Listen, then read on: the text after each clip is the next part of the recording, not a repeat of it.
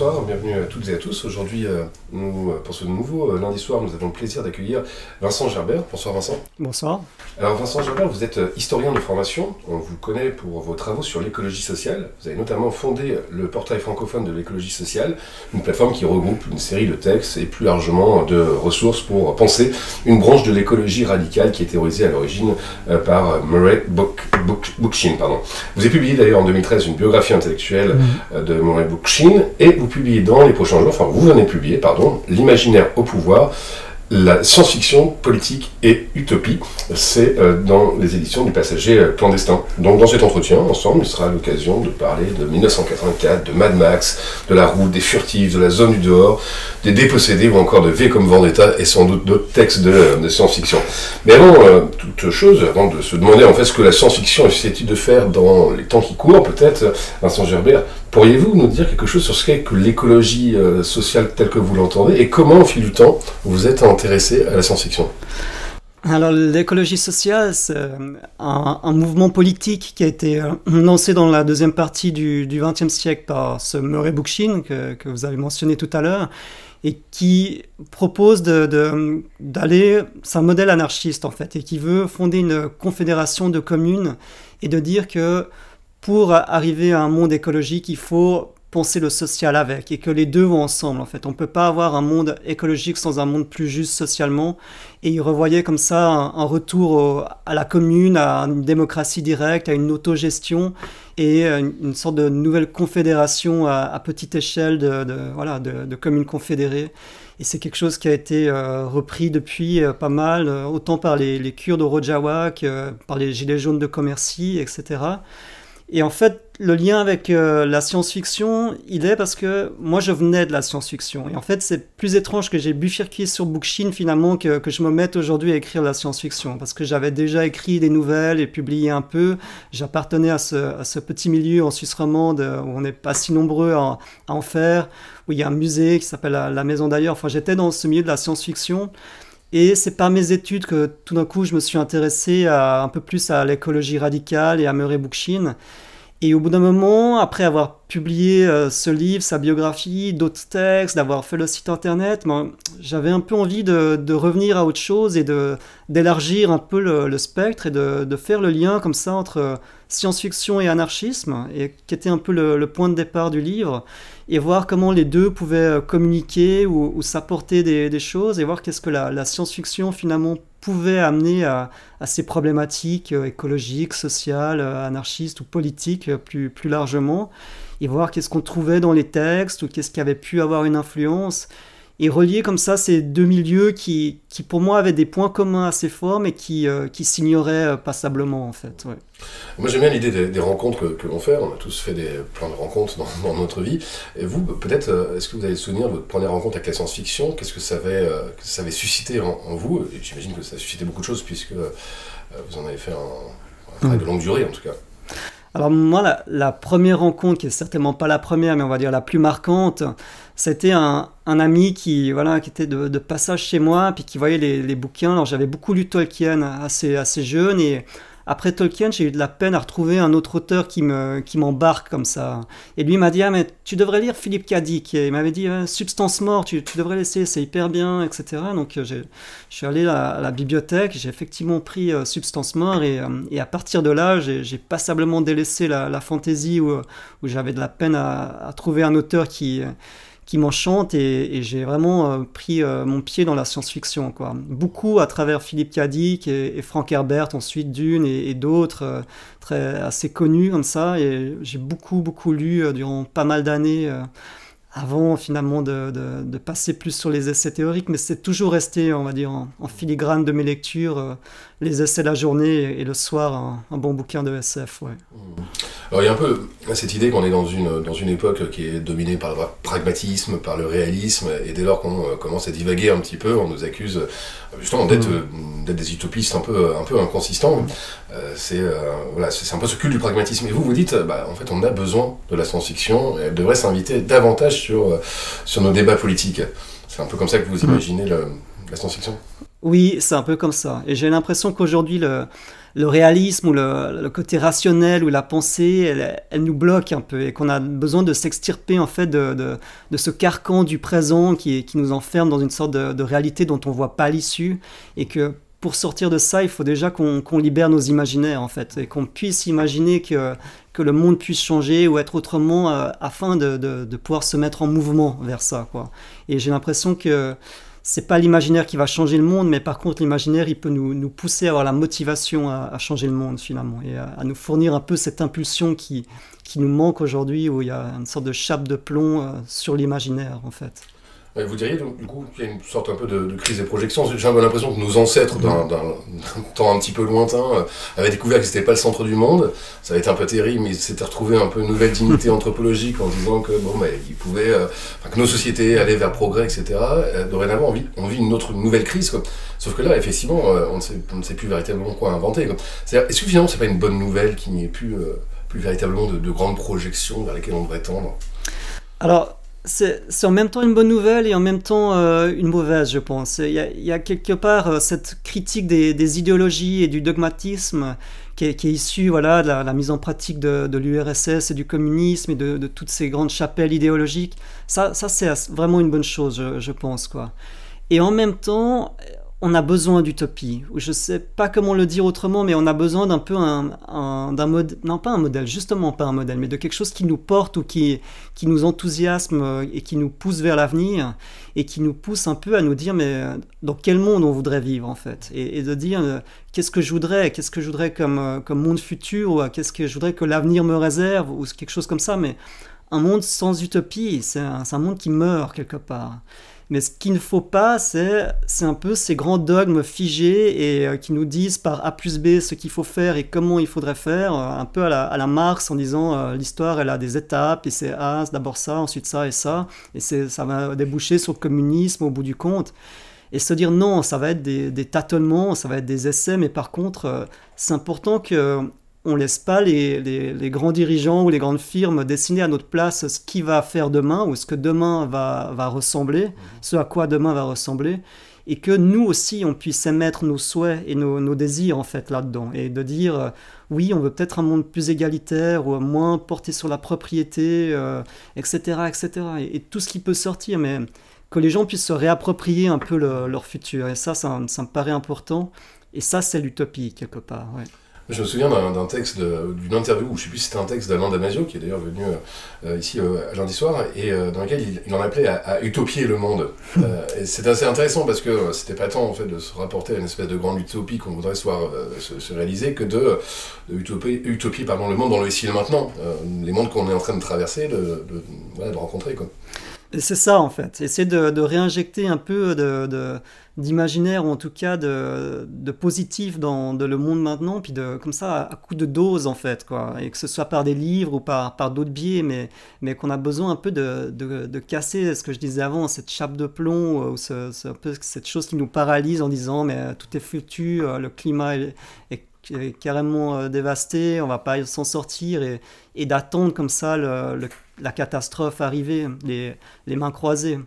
Et c'était un discours que je tenais aussi avec, euh, dans mon travail sur Bookchin, c'était de dire, même si son, son utopie, parce que c'était aussi une sorte d'utopie, euh, elle nous paraît peut-être lointaine, mais quelque part on a besoin d'avoir ce discours-là aujourd'hui pour au cas où quelque chose se passe, on ait quelque chose à proposer, parce que sinon on sera démuni et ce sera toujours récupéré euh, par ceux qui sont déjà organisés, que ce soit à l'extrême droite ou les, groupes religieux ou tout ce qu'on veut, qui, sont déjà là et qui ont déjà leur, euh, utopie déjà toute prête à, être imposée en fait. Quoi. Et on a besoin de contre-discours. Et Alain Damasio, il est, énormément dans, ce, comment dire, dans ce créneau-là, finalement. C'est de dire, oui, il y a une sorte de bataille des imaginaires et il faut qu'on ait un discours à, à apporter pour euh, contrecarrer celui qu'on nous impose, en fait, quelque part. Quoi. Alors justement, en parlant de, discours, euh, ces derniers temps, il y a beaucoup de, débats autour de la littérature et du, et du politique.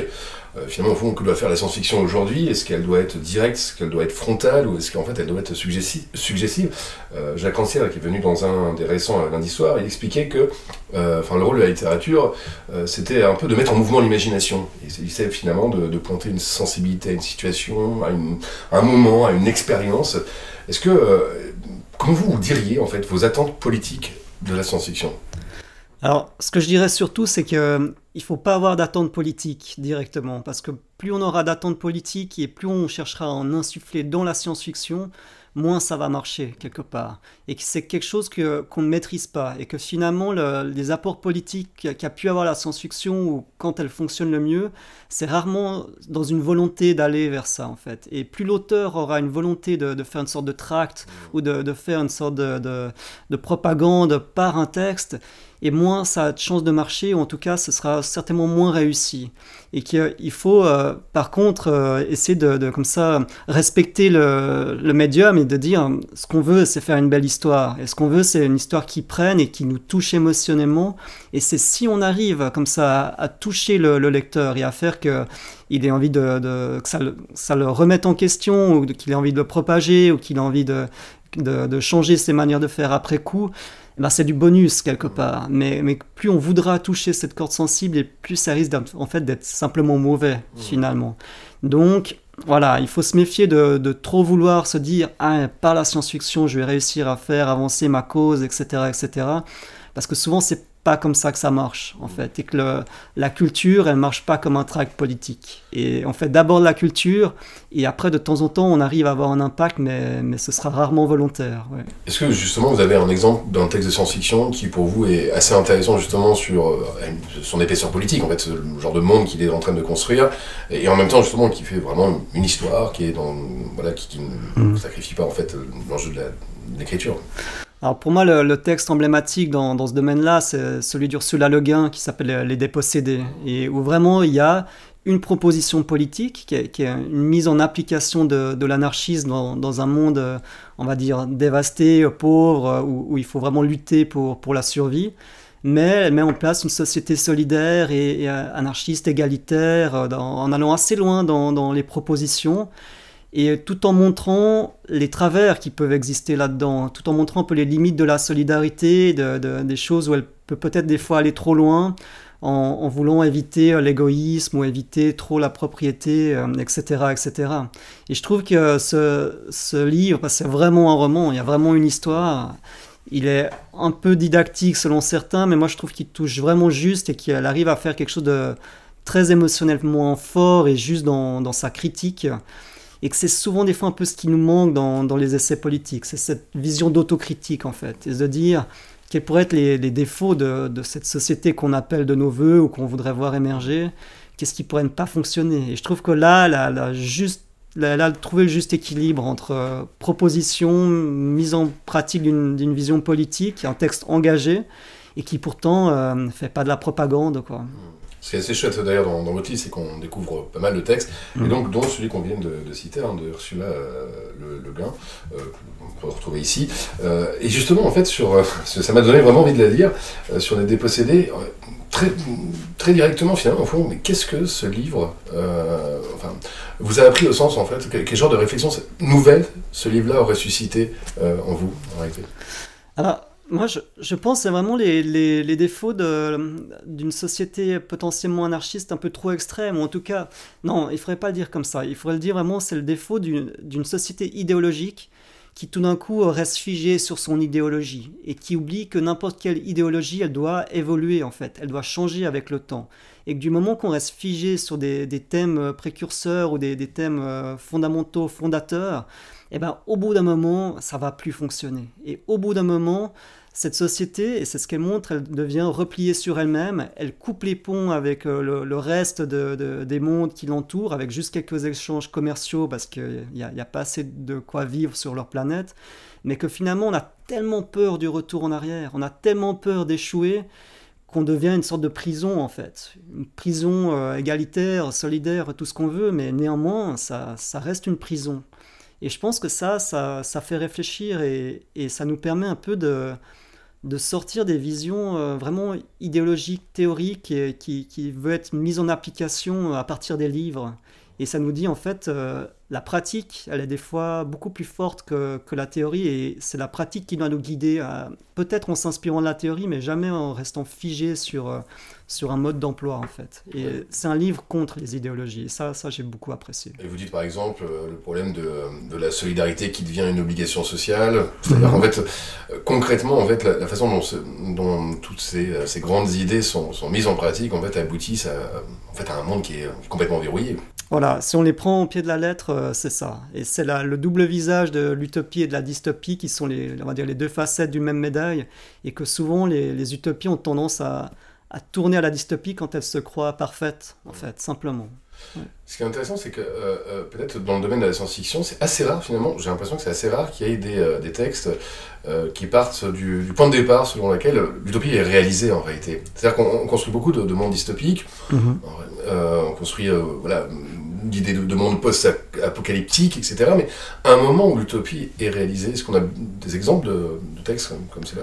Oui, il y, en a, un peu de, plus en plus, j'ai envie de dire, et notamment récemment le, livre de Camille Le Boulanger qui s'appelle Utopia, où il s'inspire d'ailleurs passablement d'Ursula Le Guin. C'est presque une, réactualisation euh, plus moderne de, ce qu'elle a voulu faire euh, avec d'autres préceptes et une autre histoire, mais, euh, il y a des hommages assez clairs avec cette idée d'absence de, propriété. Et là, c'est clairement une utopie qui est, mise en pratique et qui est, là, qui est déjà là, avec un parcours d'une personne quasiment de sa naissance jusqu'à sa mort, et de dire bah, comment ce monde peut exister et comment, ouais, comment il fonctionne. Il y en a un autre qui s'appelle Voyage en misarchie, qui est, qui est là aussi dans, un principe euh, utopique avec euh, quelqu'un qui a un accident d'avion qui tombe sur une île où cette société, euh, de nouveau presque parfaite, avec peu de propriété, avec tout est assez, comment pas légalisé, mais assez, voilà, enfin, tout le monde accepte ce qui se passe, même les choses les plus extrêmes, etc. Et chacun fait vraiment comme il veut avec beaucoup de possibilités et euh, avec l'absence de domination qui, était un peu le, fondement de, son précepte. Et de plus en plus, on cherche à, en, écrire et à en trouver. Et Ursula Le Guin avait écrit d'ailleurs un autre texte utopique, mais, plus conceptuel, qui s'appelle La vallée de l'éternel retour, où elle met là aussi en place une, communauté euh, à petite échelle, mais avec euh, voilà, des, gens qui vivent ensemble en communauté égalitaire, euh, sans question de, salariat ou de, revenus, avec accessibilité aux ressources, qui est un peu le pendant des dépossédés, mais dans, dans, un endroit où les ressources sont à disposition et où il y a assez pour, pour tout le monde en fait. Oui, parce que dans les dépossédés, c'est un monde un peu désertique, c'est un monde mhm. où on est privé à peu près de tout matériellement. C'est ça, ouais. Alors, c'est vrai que moi j'aime bien, enfin, j'entends très très bien le principe selon lequel euh, la littérature, la science-fiction va nous, euh, nous amener, euh, enfin créer un peu des, imaginaires. Est-ce que par exemple dans les œuvres que vous venez de, de, citer, est-ce qu'on pourrait dire que ça vous a aidé peut-être à faire à la fois une critique de nos pratiques politiques actuelles, je parle vraiment de pratiques politiques militantes actuelles, est-ce que ça vous a inspiré en fait quelque chose d'un peu affirmatif euh, en termes de politique, c'est-à-dire pas simplement être dans une critique du présent, mais être dans une, dire, dans, une pratique affirmative du politique. Alors, Bon, je, dirais qu'il euh, faut toujours se méfier de, justement de dire la science-fiction, elle est capable de ça ou elle peut nous apporter ça. C'est toujours une question de, potentiel qui, peut être là, qu'on peut trouver, mais euh, de toute façon, ce qui va marcher pour moi va peut-être pas inspirer un autre lecteur et, vice-versa. Donc c'est assez toujours compliqué de répondre à, l'impact d'un livre ou à, ses effets concrets. Mais pour moi, vraiment, ce que j'ai trouvé là-dedans, c'est toutes les questions d'altérité et de diversité, et de dire qu'il ne faut pas chercher la solution ou le texte juste ou l'idéologie euh, parfaite qui va nous guider, puis avec toutes ces batailles de chapelle qu'on connaît aujourd'hui à gauche et qui, qui plombent un peu le, le mouvement alternatif, j'ai l'impression et de se dire que oui, il y a de la place pour diverses utopies et, diverses sortes d'utopies, et qu'en fait, nous, ce qu'on a besoin aujourd'hui, c'est de, de, sortir des, des systèmes euh, euh, parachutés d'en haut et imposés un peu par la force, et de, au contraire, devoir euh, se, se, réapproprier cette recherche et se dire, ben, oui, qu'est-ce qu'on voudrait, mais aussi être critique, aussi porter cette vision critique de, nos modèles et de nos, propositions politiques. Et moi, je crois que c'est surtout ça que la, science-fiction m'apporte finalement, ce contact avec l'altérité, puis avec la, diversité des, mondes possibles, la capacité du changement, se dire qu'en fait le, futur il est aussi inventé par, par nous jour après jour et par nos imaginaires et comment quels imaginaires sont, sont diffusés. Et voilà, avoir un regard critique là-dessus et, se dire surtout vers quoi je ne veux pas aller en fait. Quoi. Vers quoi euh, les imaginaires qu'on me propose et la, science-fiction, on, a montré beaucoup, mais la plupart, ils ne sont pas enviables et c'est plutôt des avertissements que, que des choses qui font envie. Et, ça, c'est quand même... Euh, je pense qu'il y a un aspect critique. Et pour parler plus personnellement, je pense que j'ai un côté un peu... Euh, anti-technologique suivant quoi, mais voilà, j'ai pas de smartphone et j'essaie d'éviter de, comme ça cette surenchère, d'aller toujours vers les, les derniers euh, sorties, tout ce qu'on nous impose au niveau technologique. Et ça, je pense que ça me vient de la science-fiction aussi. Et de me dire, il faut résister à, ces euh, grands groupes euh, d'entreprises qui, qui, nous imposent des, des, manières de vivre et des critiques face à la technologie. Et je pense que ça, ça me vient de la science-fiction. Ouais. mais alors justement, enfin, je voudrais pas faire un peu le, retourner un peu sur, sur, sur, moi-même, mais il y a cette idée, la critique par exemple de la technologie. Je sais pas, je pense à un texte d'Alain Damasio dans lequel tout est privatisé les villes sont privatisées, mhm. Paris appartient à LVMH, euh, la ville d'Orange, à, l'entreprise Orange, etc. Donc c'est excellent effectivement pour euh, construire l'inquiétude de ce que pourrait être une privatisation de l'espace public, ou en gros euh, payer un, forfait pour pouvoir aller vous balader dans un parc ou des trucs comme ça, etc. Ça j'entends bien, mais ça serait quoi finalement au fond L'autre partie, moi, qui enfin que, j'espère en fait en réalité, c'est qu'est-ce qui pourrait être désirable, c'est-à-dire en fait qu'est-ce qui pourrait être désirable en fait bah, sans, ce, sans ce truc technologique en fait, en réalité. Vous voyez, c'est mhm. comment en fait on arrive à, construire de l'envie, de l'affirmation en réalité, plutôt que d'être euh, anti-technologie par exemple. Alors, bah, justement, dans, ce texte d'Amazon, donc c'est les furtifs, euh, pour le, mentionner, à, la fin, il, évoque justement des, sociétés alternatives avec des, groupes rebelles qui se mettent ensemble et qui, cherchent à, je crois dans une île d'ailleurs, mais j'ai un, doute là-dessus, ça faisait quelque temps que je l'ai lu, mais qui cherchent à créer une autre société, qui soit justement pas dans, dans cette question technologique, qui soit beaucoup plus démocratique, etc., euh, etc. Et je pense que souvent dans, les textes, la fin, enfin, il y, a quand même une lutte contre un, monde totalitaire et qu'on arrive à, dépasser vers la, fin des textes. Seulement, souvent, on n'a pas la suite et on ne sait pas comment on vit dans, le monde d'après.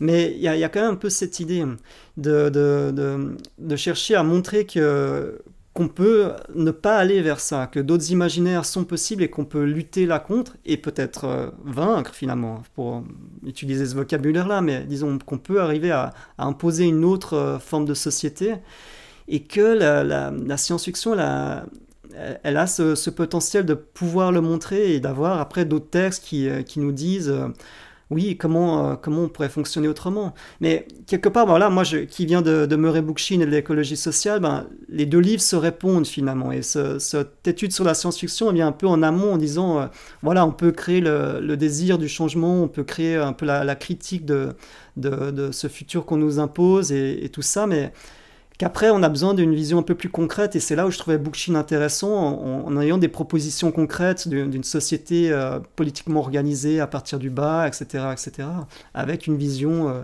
écologique, euh, sans domination et, plus égalitaire. Et les deux doivent se répondre. Je pense que les essais ou la pensée politique, elle va, être en, correspondance avec la, fiction, où les deux vont être complémentaires en fait, d'une certaine manière.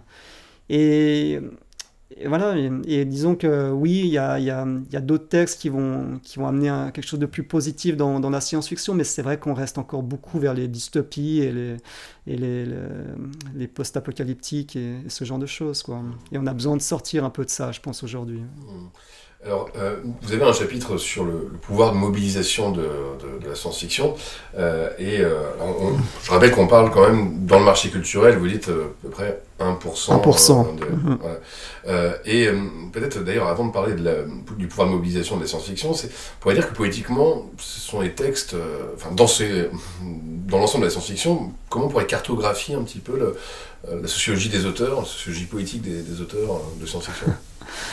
Alors, je, c'est pas une, question facile à répondre, mais, quelque part, on dit en général que, les auteurs sont à peu près au centre-gauche de, de, la pensée politique. Je pense qu'au tout début de la science-fiction, il y avait beaucoup plus d'auteurs euh, très conservateurs, euh, avec toutes ces thématiques autour du, patriarcat, de, la domination, d'aller conquérir les étoiles, ce qu'on a un peu appelé le, Far West dans l'espace, enfin, toutes ces valeurs-là, famille, patrie, et j'en passe et que depuis les années 60, on est quand même beaucoup plus à gauche avec tout un courant euh, libertaire qui est venu euh, s'investir dans, la science-fiction et qui a trouvé un, terrain d'expression. Autant euh, aux États-Unis avec Ursula Le Guin et, Joanna Russ et, d'autres femmes aussi qui ont, beaucoup écrit des nouvelles utopies plus, engagées à gauche, qu'en France avec Jean-Pierre Andrevon et, et Bernard Blanc et, tout ce, ce mouvement-là, Michel Jury, qu'on beaucoup amené des idées politiques justement dans la SF et qui étaient euh, clairement beaucoup plus à gauche euh, que, que leurs précurseurs.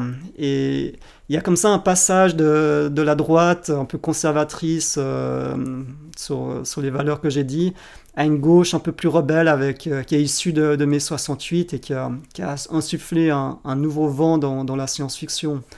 Après, euh, voilà, c'est toujours délicat de, cataloguer. Et, aux États-Unis, on n'aura peut-être pas les mêmes rapports politiques qu'ici en, France ou dans la, francophonie.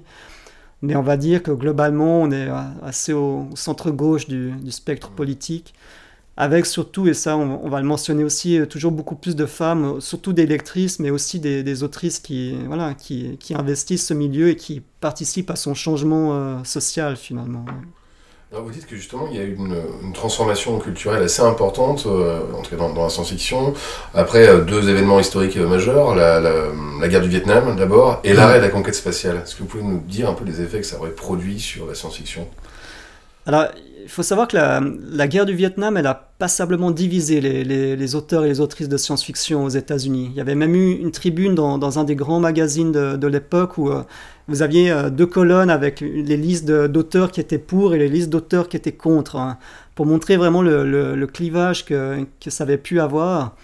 Mais disons que l'arrêt de la, conquête spatiale, c'est un peu euh, marqué un, recul du genre qu'on appelle le space opera, qui est, toute cette science-fiction dans, l'espace, des conquêtes de monde, les, confédérations d'empires, les, les, batailles euh, entre voilà dans, cette vision grandiose de, la science-fiction qu'on connaît au cinéma avec Star Trek, Star Wars, etc. Et qu'on est revenu un peu plus à, une échelle terrestre avec les, questions environnementales, les questions plus humaines, une réflexion sur l'humain, avec Philippe Cadic notamment qui a, beaucoup euh, porté cet élément-là de qu'est-ce qu'est l'humain par rapport à, à l'androïde et, qu'est-ce que, quelles sont nos valeurs finalement, et une science-fiction beaucoup plus introspective. Et voilà, on, le, on met traditionnellement le, le, pointeur sur l'arrêt de la, conquête spatiale et la guerre du Vietnam et toutes ces questions en disant que finalement la guerre et le développement technologique euh, a atteint une sorte de, limite acceptable et qu'en fait les, nouveaux textes maintenant vont être moins portés sur le progrès et cette idée de privilégier le, progrès en son sein qu'on on va être beaucoup plus critique en fait de, de la technologie dans la science-fiction. Et que le regard, euh, après toutes ces atrocités qu'on a que les gens d'alors ont pu, euh, ont pu constater euh, en direct à la télévision ou dans les médias, eh ben, ça crée une sorte de dégoût et, et une remise en question de, de, cette idéologie du progrès. Et il y avait aussi un, troisième facteur qui était la, bombe nucléaire sur Hiroshima et qui, qui a aussi remis en question qu'est-ce que c'est les, les, guerres du futur et peut-être que le futur est plus euh, porté sur ces questions-là, mais plus sur des questions politiques finalement, avec, euh, avec ce développement des armes qui, qui peuvent provoquer l'éradication totale de, la planète. Alors, on, a, on commencé à ébaucher un peu le, sujet sur le lectorat euh, de, la science-fiction. là aussi, il y aurait une transformation un peu de, ce lectorat. Mais je me souviens encore une fois d'une conférence d'Alain Damasio où, il, où il, il en pouvait plus. En fait, finalement, il, son public, plutôt des, gens diplômés, euh, blancs, euh, hétéros, qui viennent, euh, en fait, qui lisent la science-fiction. Ça, a évolué, le lectorat, de ce point de vue-là, ou vous dire? Alors il y a peu d'études, hein, c'est toujours le, problème, et donc moi je me suis surtout basé sur, sur des textes, et simplement pour des, questions de temps, parce que je, voilà, avec mon travail à, côté et la famille, j'ai pas pu me lancer dans des, grandes études statistiques ou, sociologiques, donc j'ai dû me baser sur ce, ce qui avait déjà été fait. Donc le lectorat, on, sait qu'on reste dans une, classe moyenne, effectivement, qui est, celle des gens qui lisent, hein, simplement. Mais c'est pas propre à la science-fiction, c'est propre au, milieu du livre. Et qu'on euh, est vraiment dans, une classe sociale assez homogène, effectivement, je, pense, euh, blanche et, bien instruite, ou en tout cas pas forcément aisée financièrement. Je pense que la plupart des gens dans la science-fiction, ils n'ont ont pas forcément des grosses fortunes. Quoi. Mais, par contre, il y a une certaine culture, il, y a, y a, une certaine... Euh, voilà, il y a eu des études qui ont été faites et, des gens s'intéressent aux livres par ça. Alors ce qu'on voit, c'est ce que j'ai dit avant, il y a beaucoup plus de, femmes, ça, c'est certain. Et je pense, mais ça prendra certainement plus de temps, mais que la, science-fiction, elle va se diversifier. Et elle se diversifie déjà dans l'origine des auteurs, où on a beaucoup plus de personnes qui, qui viennent de Chine ou d'Amérique du Sud et qui sont publiées en France, ou même, d'Afrique ou d'Australie. Enfin, d'un coup, il y, a, il y a des grands noms qui sortent de toute la planète. Et voilà, je pense que cette diversité ou, euh, voilà, de, lecteurs et de lectrices, elle va arriver, elle va, ça prendra plus de temps. Parce que la science-fiction, elle est à l'image de la société et que, ça arrive, mais, on est encore loin d'une parité ou d'une vision vraiment euh, éclectique et diversifiée de, ses représentants et de ses représentantes. Ça, c'est encore certain. Alors pour revenir sur le, pouvoir de mobilisation de la science-fiction, euh, vous dites qu'il vous, questionnez en fait évidemment ce, pouvoir de mobilisation, puis vous dites qu'il y a quelques textes de science-fiction qui ont eu des, euh, impacts euh, assez concrets sur Solarité. Est-ce que vous pourriez nous, en parler? Oui, bah, j'en cite quelques-uns. Alors les, les principaux, c'est quand même pas tout à fait la science-fiction. On est dans l'utopie, c'est des, textes du, du 19e et, et, et, du 18e siècle qui sont le, la, communauté d'Océania de James Harrington, qui a, eu une influence, il fait la, constitution idéale de, la République d'Océania, et puis on, sait que ça a une influence après sur la, constitution des États-Unis ou, même en France. Et mais c'est un texte utopique, donc on est, bien avant ce qu'on a appelé la, science-fiction, qui, commence, on va déjà le dire, avec Frankenstein en, 1815, donc euh, on est un peu dans les précurseurs. Et l'autre, c'est le, texte d'Edward Bellamy qui s'appelle euh, Looking Backward en, anglais, ou C'était demain, comme il était traduit euh, actuellement, avec, qui a, donné lieu à tout un mouvement aux États-Unis qui s'appelle les, nationalistes, qui ont euh, tout d'un coup rassemblé des, dizaines ou même cent mille personnes dans tous les États-Unis avec une volonté de voilà, de nationaliser l'industrie, d'abolir le salariat et de reprendre les idées que, l'auteur avait mis dans le texte. Mais de nouveau, c'est pas lui qui a, qui a lancé ça, c'est quelqu'un qui s'est réapproprié son texte, qui, qui s'est dit ah mais c'est vraiment des, bonnes idées, c'était vraiment innovant à l'époque. Et c'est souvent quand on touche quelque chose qui, qui, nous marque ou qui innove, qu'on arrive à susciter un, impact. Et c'est ça que je, je, dis effectivement dans, dans ce chapitre, c'est que les textes qui ont pu influencer, et on a parlé au tout début de V pour Vendetta, mais V pour Vendetta est aussi un texte qui a, qui a pu avoir une influence, en tout cas des, des répercussions avec le, le masque du, du, livre qui a été repris dans, dans, les manifestations ou par le groupe Anonymous et dans Occupy Wall Street aussi énormément. Et qu'on voit tout d'un coup un, un livre ou un, titre euh, diffusé par une de ses idées et, impacté autour de lui euh, assez largement, comme, comme une traînée de poudre un peu hein, finalement. Et il y en a quelques-uns, la, Servante écarlate aussi, euh, avec sa sortie en, série, ben, beaucoup de, femmes dans le, mouvement pro-IVG ont, ressorti un peu cette image-là pour dire attention, c'était pas un mode d'emploi. Donc oui, on, trouve tout d'un coup des textes qui, ont eu un impact, mais pas, pas beaucoup. Il ne faut pas non plus euh, idéaliser ce, pouvoir-là.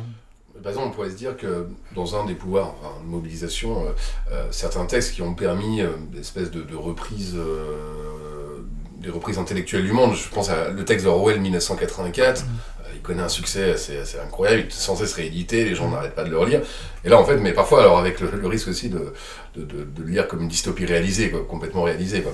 Donc il y a quand même des textes comme, ce, comme ceci. Enfin, vous, je sais pas si comment vous avez euh, comment vous aviez rencontré Orwell sur euh, ce texte de 84 ou comment vous l'avez. Mm. Euh, mais voilà, ce que je veux dire, c'est qu'il y a aussi ce, ce, genre de textes qui permettent cette ouverture intellectuelle sur le monde. Exactement, et, et qui tout d'un coup deviennent intemporels et qui qui, euh, qui passent comme des références incontournables. Quoi. Et, et, malgré tout, c'est toujours la question, euh, on dit toujours maintenant, voilà, on est dans un monde orwellien, on est dans un monde orwellien, et c'est toujours la question, est-ce que c'est une prédiction autoréalisatrice ou est-ce qu'on est dans un, livre critique et, qui aurait pu nous aider à, ne pas tomber là-dedans? Et on est toujours un peu entre deux, et c'est toujours difficile de, se positionner sur cette question. et à quel point le texte d'Orwell a a alerté sur quelque chose et à quel point finalement il a peut-être donné des idées à, certaines personnes en disant ah bah tiens pour, pour contrôler les masses on aura peut-être besoin de, les mettre dans une période de guerre continuelle euh, avec une surveillance continue etc etc. Si on pourrait dire juste en quelques mots ce texte de 84 même s'il est très connu tout le monde ne l'a pas nécessairement lu l'histoire Alors, l'histoire, en, résumé, donc on est, on est dans un monde totalitaire euh, en, Angleterre où on a trois blocs, trois grandes puissances qui, qui s'affrontent euh, les, unes les autres. Et c'est toujours euh, deux alliés contre la troisième. Et les alliances, elles changent tout le temps. Et du coup, il faut réécrire l'histoire. Et ça, c'est un des éléments très forts de, de son livre. C'est-à-dire que on va changer les coupures de journaux du passé, on va changer les, images au fur et à mesure que, les alliances militaires euh, évoluent, et dans un sens comme dans l'autre, du, fait qu'au bout d'un moment, les gens ne savent même pas que, contre qui euh, leur nation se, bat, et peut-être même qu'il n'y a pas de guerre. C'est un peu toujours ce, doute qui, sort du livre de dire, mais finalement, peut-être que ça, c'est juste pour euh, troubler la, population et les, empêcher de, se rebeller, puis d'avoir peur, en fait, et de jouer comme ça sur la peur. Et il y a cette personne qui, vit dans, ce ministère où justement il doit réécrire l'histoire et euh, qui est entouré de, téléviseurs, écrans où il qui sont constamment surveillés, le fameux Big Brother qu'on qu'on connaît un peu, un peu tous, avec le langage aussi qui a été euh, coupé, on réduit le nombre de mots pour éviter que les gens développent une pensée un peu euh, conceptuelle ou élaborée, et comme ça c'est de l'endoctrinement finalement, et c'est de l'endoctrinement qui est qui est issu de, du début du totalitarisme avec euh, le, régime nazi et le, régime soviétique, en fait. Et c'est cette critique-là que, que Farewell en, en 48, ou je crois qu'il est sorti peut-être une année après, et qui plaçait en 84. Et euh, aujourd'hui, c'est peut-être un peu plus subtil que ça, mais, mais c'est vrai qu'on euh, est dans ce climat de, peur entretenu, finalement. Je vais peut-être être un peu, un peu grossier, mais, mais est-ce que d'une certaine manière, en fait, l'enchaînement de toutes ces dystopies euh, et de tous ces mondes désertiques, post-apocalyptiques qui sont créés, etc., est-ce que finalement, on n'a pas, ça, ça, participerait pas à une espèce de préparation morale à la catastrophe, une accoutumance à la catastrophe, et qu'au final, en fait, ça pourrait atrophier un peu notre, notre sensibilité? Alors c'est une des grandes questions que, que, je pose dans le livre et, et auxquelles j'apporte pas de réponse, mais, mais c'est vrai que c'est un côté dérangeant en fait, de se dire euh, est-ce qu'on n'est pas en train de, de, de, creuser notre propre tombe avec, euh, avec toutes ces images diffusées et puis d'atrophier en fait notre, notre capacité de résistance ou de d'aller contre et, que ça crée une sorte d'acceptation fataliste du futur et se dire bon en fait euh, on va vers ça. On a été nourri de toutes ces images post-apocalyptiques depuis euh, très longtemps, avec les, les Mad Max, avec. Avec euh, ah, forcément, quand on veut dire des exemples, on les, on les trouve plus, mais toutes ces images de Postman et, tous ces, ces, mondes où tout le monde se bat les uns contre les autres, la, route de, de voilà, que tous ces films très connus. Ça, passe souvent par les films parce que c'est cela qui nous marque le, plus euh, avec des images. Et souvent les livres sont beaucoup plus nuancés ou apportent peut-être plus de vision critique euh, les films eux-mêmes. Mais on a été nourri de ça. Et puis finalement, chaque fois qu'on doit voir une image du futur, c'est ça qu'on voit. C'est des mondes pollués avec des gratte-ciel euh, qui vont jusqu'aux étoiles quasiment. C'est des fumées noires, c'est des, ruines. Et on se dit, bah, finalement, le futur doit être ça. Il y a une sorte de réaction cognitive qui, qui fait qu'on associe fatalement le, futur à ça. Ou alors à l'aspect ultra technologique, avec des hologrammes partout, avec des, des, super appareils où il suffit de parler pour obtenir tout ce qu'on veut. Et c'est vrai que je pense que ça crée une accoutumance. Ça, crée vraiment une vision de se dire, ben, le futur doit ressembler à ça, au lieu de se dire le futur il pourrait être ça, mais il pourrait aussi être autre chose. Et c'est pour ça qu'aujourd'hui il faut diversifier ces, images, ou en tout cas essayer de, de, montrer que c'est pas une fatalité. Parce que c'est vrai qu'il y a une réalité qui est tellement stupéfiante euh, qu'elle dépasse même parfois en fait l'imagination des, écrivains les plus, euh, euh, les plus, incroyables qui divaguaient le, plus quoi. Et donc voilà face à enfin comment en fait réenchérir devant quelque chose en fait qui a déjà été un peu éteint quoi. C'est la croyance quoi, la croyance en des mondes possibles. C'est un peu C'est revenir un peu sur ce que pourrait faire aujourd'hui la science-fiction.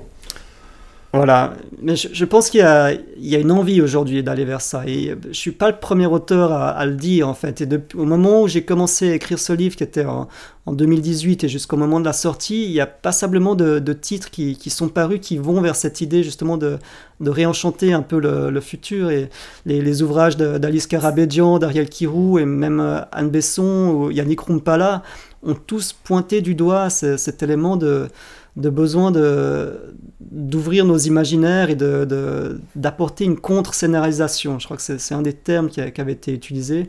Et Damasio également, c'est passablement, euh, passablement œuvré dans, dans, ce sens. Et je pense qu'il y a une dynamique. Il y a une dynamique aujourd'hui pour, euh, pour reconnaître le besoin d'amener d'autres images et que peut-être que les mouvements du solar punk qui, qui émergent ou, euh, les nouvelles utopies qui ont pu sortir Qu'est-ce que c'est que le solarpunk alors, le solarpunk, c'est un courant de la, science-fiction assez récent qui, date d'il dizaine d'années, qui a été théorisé par, euh, par un manifeste, hein, par des, Américains ou des Anglais, j'ai plus exactement la référence, et qui veut sortir justement des, imaginaires positifs. Donc, euh, solar parce qu'il y a l'énergie solaire, et, comme si on avait pu euh, dépasser la, crise climatique et et proposer une, des utopies enviables, et d'essayer d'amener d'autres histoires plus positives et qui se placent, on va dire, en, opposition au, cyberpunk euh, avec ses mondes très technologiques, et, etc. Et là, on est dans, quelque chose de beaucoup plus positif et de dire qu'on peut malgré tout avoir des images, des histoires, je veux dire, dans, ces imaginaires-là et qu'on n'est pas obligé d'être dans, des mondes de dépression et de, carnage ou post-apocalyptique. Alors, là, cette fois-ci, euh, vraiment d'un point de vue poétique, euh, quand on en appelle à, utopier le monde, euh, bah, vous dites, hein, il faut créer non pas des modèles figés, donc il faut pas, mm. on va pas rechercher des espèces de, grandes utopies générales, mais plutôt des mondes ouverts, des mondes qui sont disponibles à, tous les commencements possibles. Alors, vous parlez de monde polyphonique, pluriversel, il ne faut jamais laisser une stagnation mortifère s'installer. En fait, moi, je vois aussi, là, ici, un certain éloge un peu du multiple, des velléités de commencement, etc. Et euh, bon, moi je pense que ces aspirations, elles existent bien. Elles émanent aussi, euh, une forme d'injonction, euh, l'économie néolibérale qui nous appelle à, commencer mm. tout le temps. Comment en fait on peut arriver à, conjuguer un mot, moi je trouve qu'il n'apparaît pas beaucoup en fait, c'est autant le rejet des habitudes des stases, c'est quelque chose de clair, mm. maintenir ouvert, et en même temps la question de la constance, c'est-à-dire en fait la constance ou la consistance. Mm. Euh, vous voyez, c'est toujours le, cette espèce de, de, lien entre d'un côté le laisser ouvert et celui de la constance, la consistance, ce dont on aurait peut-être un peu besoin aujourd'hui. Alors oui, là, je voulais tout d'abord préciser que pluriversel et, polyphonique, ça vient de, Damasio. Moi, je le cite dans le livre, mais pour lui, renvoyer la, paternité, on va dire, je vais juste préciser ça pour le, pour l'interview aujourd'hui. Et que oui, ça, va être toute la difficulté en fait. C'est-à-dire comment faire du commun à partir du multiple et comment faire en sorte que ce soit pas juste l'éphémère. Parce qu'aujourd'hui, on est beaucoup dans la consommation éphémère et dans le truc qui dure pas. Mais on va aller d'un côté, puis ensuite on va partir de l'autre, puis on va laisser tomber. Puis on a un besoin de constance. Ça, je suis, je suis entièrement d'accord.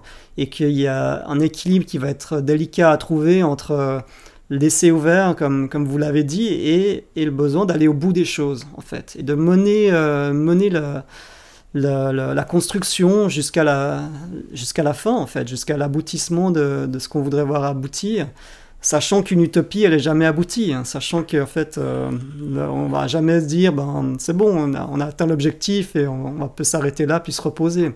Ça ne va pas être comme ça. Donc, euh, il y aura un effort à maintenir et, peut-être des idéaux à, rabaisser aussi. Et que ça va être compliqué parce qu'aujourd'hui, on nous pousse euh, plus vers la, consommation et plus vers le, effectivement l'éphémère et de ne pas s'attacher en fait, mais, mais essayer de, pallier à la vie par le, plaisir éphémère et, et euh, le bouton qu'on appuie qui nous procure ce petit shoot de, de, de plaisir. Et que euh, contrecarrer ça, c'est vraiment compliqué. Et pour contrecarrer ça, il va falloir beaucoup investir les, questions euh, cognitives, en fait. Et je pense que c'est un grand chantier qui, qui aujourd'hui manque dans, toute la militance, c'est de, parler psychologie en fait, comme, comme l'ont fait les, les, euh, le monde du marketing pour nous, justement, pour nous amener à, à, vouloir la consommation, puis à nous vendre des, des produits dont on n'a pas besoin. Et aujourd'hui, pour aller contre ça, il faut qu'on apprenne les, ces mécanismes et comment ils fonctionnent pour s'en prémunir et pour, euh, pour éviter de, de, se faire avoir encore et encore dans, dans ces schémas-là. Et, c'est une question de l'émotion. Et je pense que le livre, et c'est un des éléments que j'amène dans, dans, dans, cet essai, c'est que le livre a cet avantage de toucher la, la fibre émotionnelle, en fait, beaucoup plus qu'un qu'un essai. Et que c'est peut-être par là qu'il va pouvoir euh, convaincre ou amener des éléments que, qui pourraient être politiques et qui pourraient faire du, du changement. Mais c'est clairement, on est au milieu d'une vague de, de de, de, propagande pour le statu quo ou de, qui veut éviter le, changement et que pour l'instant ils sont très très forts et très bien implantés. Donc euh, ça va pas être facile, c'est sûr. Vous utilisez le mot convaincre. convaincre à quoi? Bah, moi, je pense c'est convaincre que le monde n'est pas figé, en fait, et que, c'est un peu sortir de, ce sentiment d'impuissance. Pour moi, c'est vraiment le, la chose sur laquelle j'aimerais pouvoir avoir une influence. Je pense que c'est ça qui nous bloque aujourd'hui. C'est un peu ce côté désespoir et qui fait que qu'on va, qu'on va arrêter de se battre ou qu'on va tomber dans du fatalisme euh, qui nous bloque quoi et, c'est ça que j'aimerais amener en fait en, principalement donc convaincre que, que tout n'est pas fichu ouais convaincre qu'on peut encore espérer que demain soit meilleur qu'aujourd'hui même si ça prendra peut-être du temps même si ça, ça peut être vraiment compliqué. On va certainement avoir beaucoup moins au niveau matériel et devoir passer par une phase de décroissance euh, imposée qui va, être, qui va être rude. Mais de ça peut aussi sortir d'autres valeurs, comme, comme de la solidarité, comme une sorte de, retour à moins et à, plus d'échanges et à plus de, de, retour du social qu'aujourd'hui on a perdu en fait. Et ça, c'est quelque chose auquel j'aimerais croire et de dire euh, peut-être que dans tous les malheurs qu'on nous, qu'on nous, euh, qu'on nous vend pour le, futur en nous prévenant euh, attention, ça va être la catastrophe et, qui est anxiogène, eh ben, je pense qu'on oublie aussi qu'aujourd'hui on vit pas bien. Et que finalement peut-être que derrière la catastrophe, il y aura peut-être d'autres choses qui pourront émerger, dans lesquelles on se sentira même mieux même si euh, on aura beaucoup moins que, que ce qu'on a aujourd'hui. On pourrait dire en quelque sorte que le rôle de la, science, euh, le rôle de la science-fiction, c'est de donner en quelque sorte des, des raisons de croire, euh, de croire au monde, d'y croire malgré tout. Exact, c'est ça. Alors, dernière question, c'est sur le célèbre slogan de, de mai 68, l'imagination au pouvoir, que vous renversez et vous dites, vous prenez l'imagination pour pouvoir, c'est-à-dire pouvoir agir, pouvoir avancer. ce que vous pourriez le, voilà, le, titre du livre s'appelle L'imaginaire au pouvoir. On a effectivement repris ce, clin d'œil à, mai 68. Et la raison, c'est qu'au bout du compte, je dis euh, bah, que l'imaginaire aujourd'hui, il, sert à, à, pouvoir. Et que même aller plus loin de dire que l'imaginaire, il doit servir contre le pouvoir et à permettre de remettre en question ce, ce, monde qu'on connaît et qui est euh, où, les choses nous sont imposées. Et j'aimerais aller, mais ça c'est le côté anarchiste aussi qui ressort, c'est du Bookchin, c'est d'aller vers une reprise en main de, son destin en fait. Et se dire que ça commence par une question d'imaginaire. Parce que ce qu'on ne peut pas imaginer, on ne va pas aller vers lui. Et pour avancer, pour avoir euh, l'envie d'accomplir quelque chose, il faut déjà pouvoir se le représenter et y croire et vraiment y croire. Et je pense qu'aujourd'hui, on n'y croit plus. Et c'est pour ça qu'on a de la peine à, construire plein de choses, simplement parce qu'on n'y croit plus. Et il y a une autre citation d'un auteur que j'apprécie énormément qui s'appelle Terry Pratchett, voilà, qui fait de la fantasy et, pas de la science-fiction, mais il y a aussi ce caractère-là politique de temps en temps dans, dans la fantasy et qui dit euh, Mais en fait, euh, vous avez besoin de croire en des choses qui n'existent pas, parce que sinon, comment elles pourraient se réaliser? Et ça, je pense que c'est un message assez fort que, que la science-fiction peut apporter. Permettre de croire, simplement. Permettre de croire à, tous ces gens et à, voilà, à mes enfants et à, toutes les générations qui viennent et qui sont déjà là, de, de croire quand même dans leur futur et, et, pas juste euh, craindre ce qui va arriver demain. Donc voilà, si, si j'arrive à amener ce message-là par le livre, ben, c'est déjà une belle chose et, j'aurais été content d'avoir passé ces années à, à l'écrire euh, pour, pour ça. Ouais. En tout cas, merci Vincent Gerbert pour ce livre, donc L'imaginaire au pouvoir, livre passionnant et qui donne, sur le coup, vraiment envie de, lire de la science-fiction. Merci beaucoup. Merci à vous.